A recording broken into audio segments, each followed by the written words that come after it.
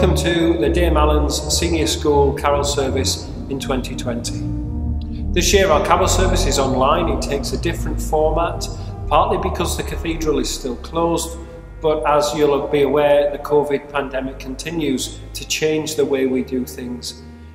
This year our school community has recorded uh, a number of items especially for our carol service this year. The Dean sends his good wishes. He would normally be here to join us for our carol service. Today in his place I use the traditional opening prayer as our carol service begins. Let us pray. Beloved in Christ, be it this Christmas tide our care and delight to hear again the message of the angels in heart and mind to even go unto Bethlehem and to see this thing which comes to pass and the babe lying in a manger. Therefore, let us read and mark in Holy Scripture the tale of the loving purposes of God, from the first days of our disobedience to that glorious redemption brought us by his holy child. But first, we pray for the needs of the world, for peace on earth, for goodwill among all people, for unity and brotherhood within the church that he came to build and especially in this holy season.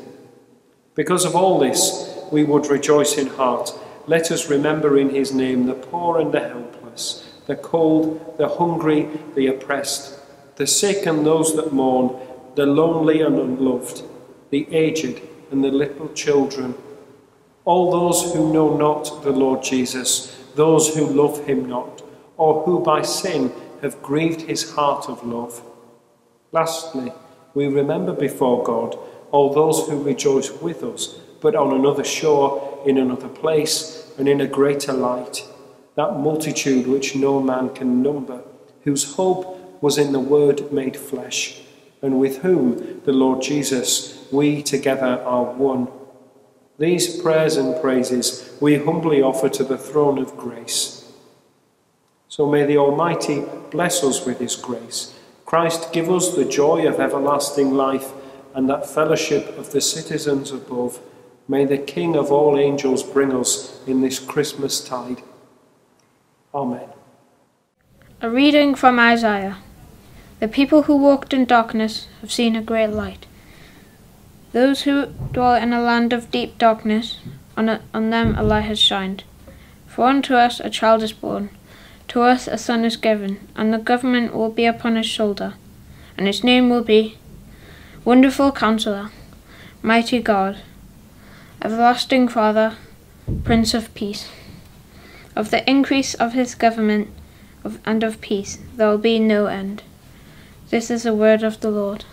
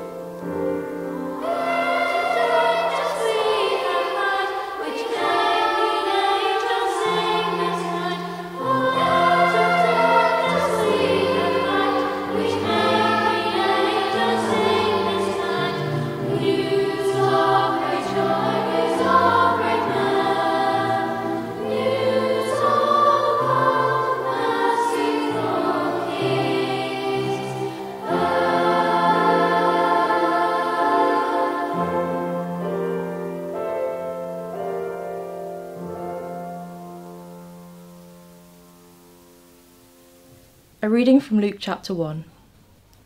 In the sixth month of Elizabeth's pregnancy, God sent the angel Gabriel to Nazareth, a town in Galilee, to a virgin pledged to be married to a man named Joseph, a descendant of David. The virgin's name was Mary. The angel went to her and said, Greetings, you who are highly favoured. The Lord is with you. Mary was greatly troubled at his words, and wondered what kind of greeting this might be. But the angel said to her, Do not be afraid, Mary.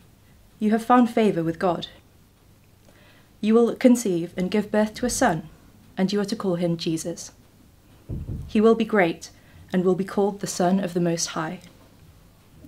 The Lord God will give him the throne of his father David, and he will reign over Jacob's descendants forever. His kingdom will never end. How will this be? Mary asked the angel, since I am a virgin. The angel answered, The Holy Spirit will come on you, and the power of the Most High will overshadow you.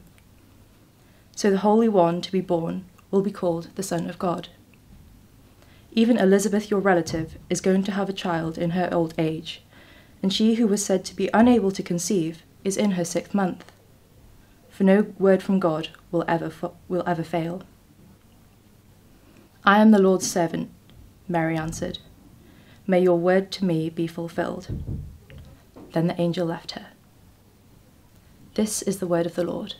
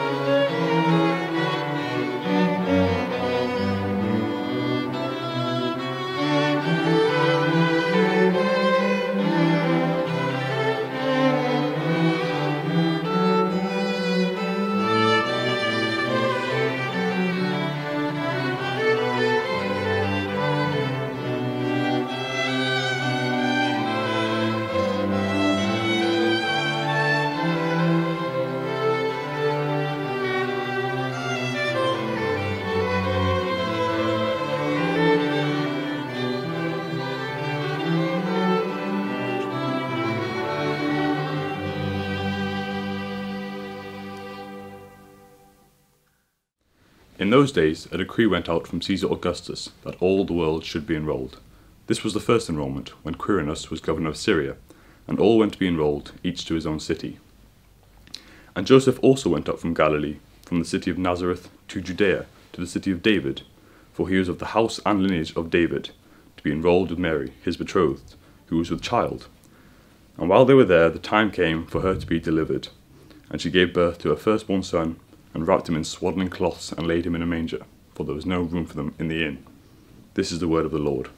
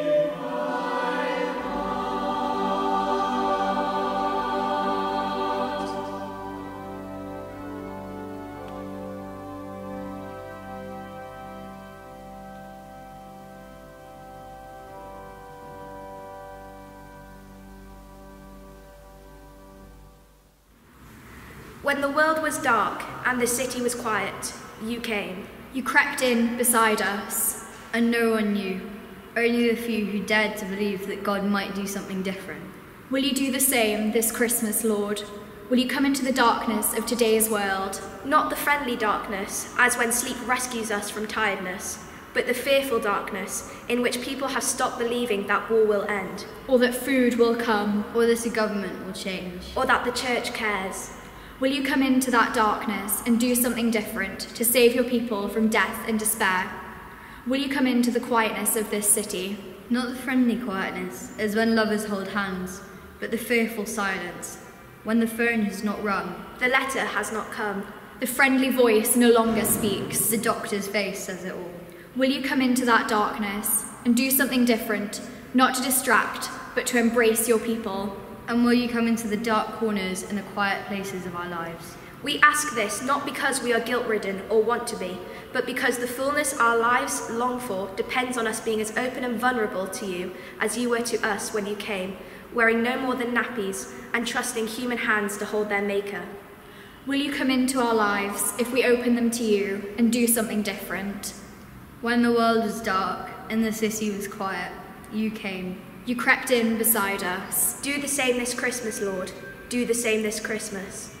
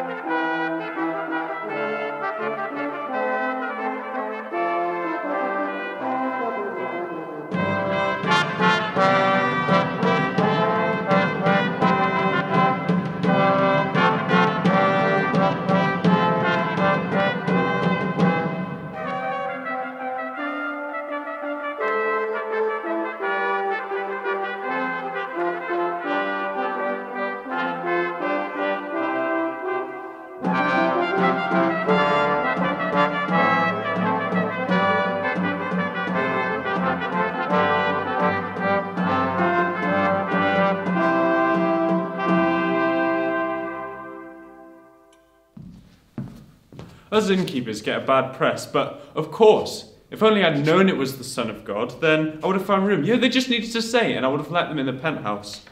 But the way they looked certainly didn't scream divinely appointed. No, they were nothing but poor refugees with no place in my town, and the smell from that donkey, oh, it was enough to make your eyes water.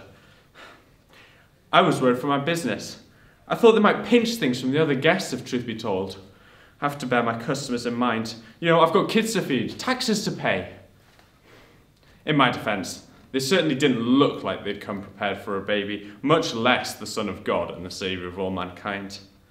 Why didn't they hint they were besties with the angel Gabriel? You know, that tends to open a few doors. Oh well, too late now. I've missed my chance to help. Anyway, I need to go arrange, rearrange some dust sheets. We'll get a millionaire in here someday. The headlines today Channel deaths spark renewed calls for safe, legal routes to the UK. The death of four members of one family, including two children, in the Channel in late October has prompted renewed calls for safe and legal routes to be opened up for asylum seekers trying to reach the UK. The boat overturned in rough waters off the coast of northern France, with a family trapped in the cabin, according to reports. Another member of the family, a 15 month old, is missing, feared drowned, while 15 survivors were rescued and taken to hospital. More than 7,400 people have arrived in the UK from France in boats this year, nearly four times as many in 2019, while seven have died attempting the crossing. The United Nations UK representative has said the government should urgently restart its resettlement scheme, which is supposed to bring about 5,000 refugees a year to the UK, but has been suspended due to the COVID 19 pandemic. For I was hungry, and you gave me food. I was thirsty, and you gave me drink. I was a stranger, and you welcomed me. I was naked, and you clothed me. I was sick, and you visited me. I was in prison, and you came to me. Then the righteous will answer him, saying, Lord, when did we see you hungry and feed you, or thirsty and give you drink? And when did we see you a stranger and welcome you, or naked and clothe you? And when did we see you sick or in prison and visit you? And the king will answer them, Truly, I say to you, as you did it to one of the least of these, my brothers, you did it to me. Poor little mite, wrapped in rags and laid in straw. Totally unhygienic, if you ask me. Just thinking of the germs. If only I'd been in Bethlehem, no saviour of mine would have suffered such indignities. Ah, Not if I could help it. I would have made a proper little layette, finest wool and knitted, oh, little bobble hat. He would have looked a proper little picture. Only right for the Son of God, you know. But no one bothered to tell me who he was. And how was I supposed to know the difference between God's greatest gift and just another unplanned baby to scavenging teenage parents? Oh well, can't be helped. It's too late now. I've missed my chance. I'll just knit him a nice warm shawl. News just in that as of December 2020, child poverty in Britain has risen sharply. Whilst relative child poverty rates have remained stable over recent years, there are now 4.2 million children living in poverty, 600,000 more than in 2011 and 12. A report by the Institute for Fiscal Studies has predicted by, by 2022 the figure will have risen to 5.2 million. However, they are keen to stress that this was calculated pre COVID. With the inevitable impact of the pandemic, this figure is set to rise even further. The Children's Society has explained the impact that poverty has on many young people. Trying to study on an empty stomach, trying to sleep in a cold bedroom, not being able to go out with your friends, and constant worry about your home situation can lead to many issues, not least poor mental health. Many of these children succeed, but it can feel like a daily battle. Then the righteous will answer him, saying, Lord, when did we see you hungry and feed you, or thirsty and give you drink? And when did we see you a stranger and welcome you, or naked and clothe you? And when did we see you sick or in prison and visit you? Then the king will answer them, Truly, I say to you, as you did it to one of the least of these, my brothers, you did it to me. Those shepherds were well meaning, I suppose, but a lamb? I ask you, short sighted or what? The Saviour would have been far better off with a whole flock of sheep. That's what I'd have given, if only somebody had actually explained to me that the squawking baby was actually God's son, come to earth to take away our, to take away our sin. Hmm. The whole sin of the world. You would need all the energy you could get to accomplish that. You see, one lamb is a nice idea as a one off donation, but the Saviour needs to be sustained. I'd have made sure the lad was well fed for years to come. A never ending supply of the best scrag end and mutton chops. Never mind fiddling about with loaves and fishes. His, his disciples would be able to hand out kebabs instead. One scrawny lamb wouldn't have done that. But I suppose my time has passed. I'll just have to slaughter the sheep and add them to the mutton mountain. You can't afford a glut hitting the market and reducing the food prices, can you? Headlines just in. Food banks all over the UK are reported to be struggling to cope with the demand as unemployment rates rise.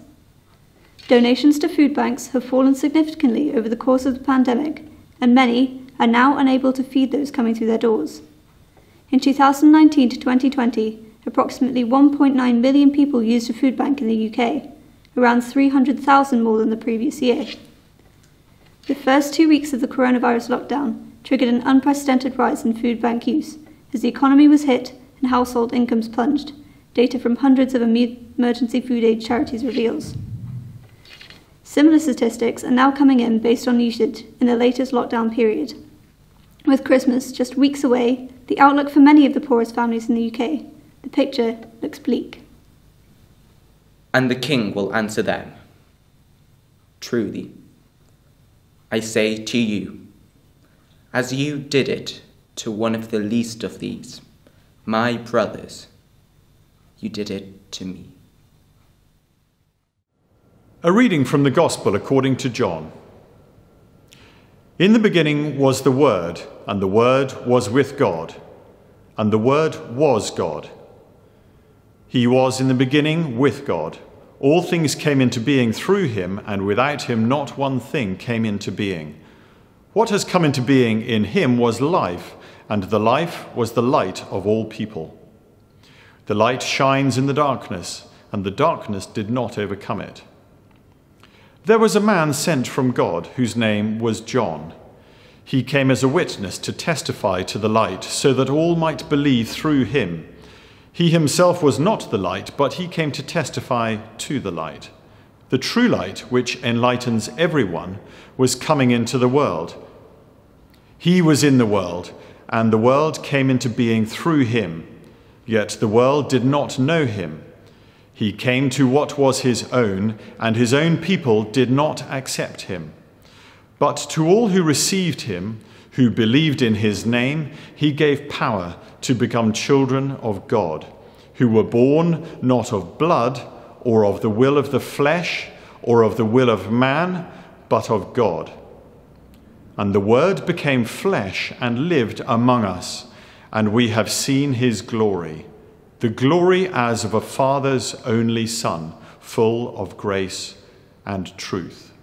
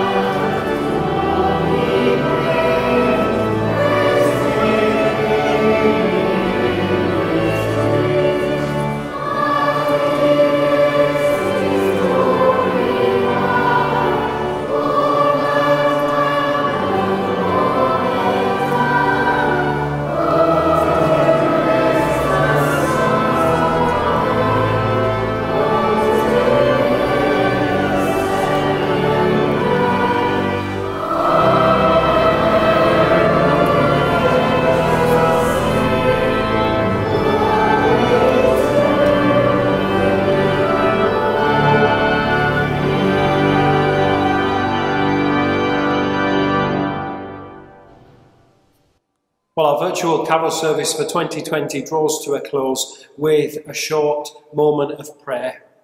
On behalf of the school community, I wish you a very happy Christmas when the time comes. And until then, in this season of watching and waiting, may you find the space to do all that you need to do. May you find those moments of quiet reflection in which you might discover joy and peace. And for those whom this year especially you may not see in person, may you know their love in your heart. And so, as we go about our daily activity, we do so after a short prayer. Heavenly Father, we remember as He came to us as a human, the Son of God scattered the darkness of the world and filled the holy night with His glory. So may the God of infinite goodness scatter the darkness of sin and brighten our hearts with love and with hope. Father, you sent your angels to the shepherds to herald with great joy the Saviour's birth. May he fill us with joy and make us heralds of his great gospel. When the Word became flesh, earth was joined to heaven. And so may we know his peace and his goodwill and fellowship with all the heavenly host of those who have gone before us. And in this Christmas season, may we know the blessing of Almighty God, Father, Son, and Holy Spirit, this day and always. Amen.